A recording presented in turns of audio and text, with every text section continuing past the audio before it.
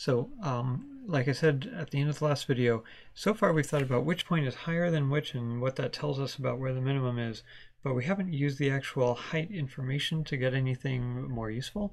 So what if we do start paying attention to that? So here I have some uh, data on our cross-section function.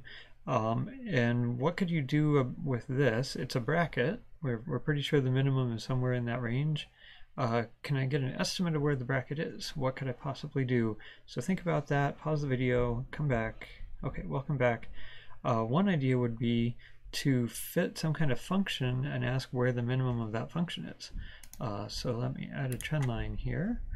Um, is this a good function to fit to ask uh, where's the minimum? Well, straight lines don't really have interesting minimums. The minimum would be at negative at positive infinity here. Um, what's the simplest function that has a minimum? How about a parabola, a polynomial, order 2 polynomial?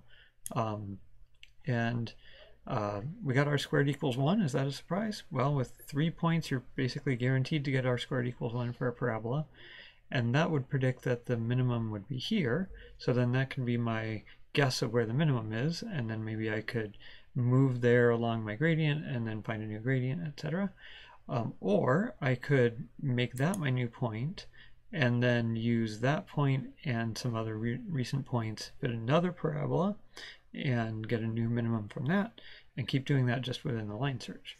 So um, this method has a mystery name, but now we know it's involving parabolas, so we'll reveal it's called the three-point parabolic.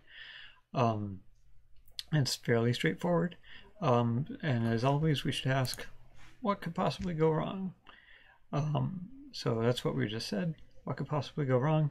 Um, it's possible that the fitted parabola, that the three points you have might accidentally be concave down, and so the fitted parabola would have a maximum at its vertex rather than a minimum, um, which you don't want to move to probably. Uh, it's possible the three line, the three points would be exactly collinear, uh, and then your parabola would just be a straight line, and you don't want to move off to positive infinity. So there's a, a kind of guarded method called Brent's method that's widely implemented in software. It's nothing mathematically fancy, it's just a bunch of bookkeeping.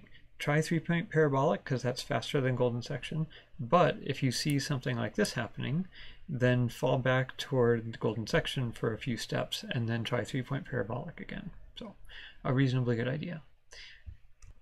We're going to keep up with this idea of approximating parabolas in the next video.